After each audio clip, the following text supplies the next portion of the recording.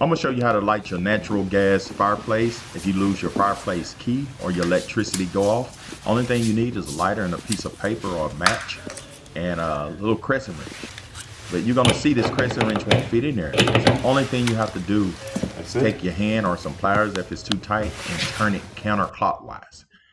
It take a few seconds because it's fine thread, so just keep turning it counterclockwise and it'll come and the reason you want to do that so you can get your crescent wrench inside to turn your fire on and off.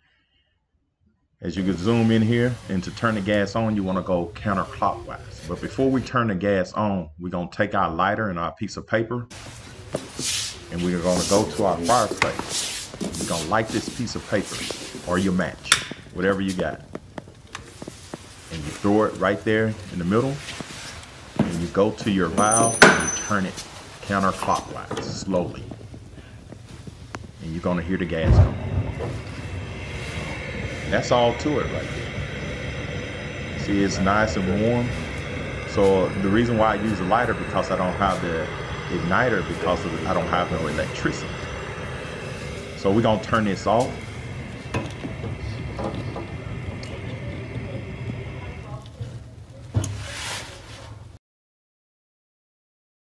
Um, another way also, which you probably don't want to do this. That's I, this how I do it sometimes. If I don't have a match or anything, what I do is turn it on real slowly, and you can hear it. And you want to go over there real fast and light. There you go. Once you light it, you can turn it up. Just go back to your um, valve and turn it counterclockwise to get more gas. And as you can see what I'm gonna do here, I'm gonna turn it counterclockwise.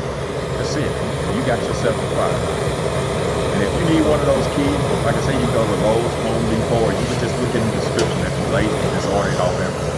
So I'm gonna turn it clockwise and turn it on.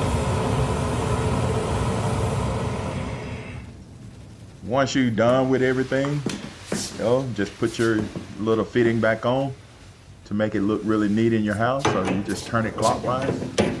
And like I said, just purchase one of these tools. Go pick one up. Then you know how to take this thing. All right, if this video helped, subscribe to my channel. Thank you and have a great day.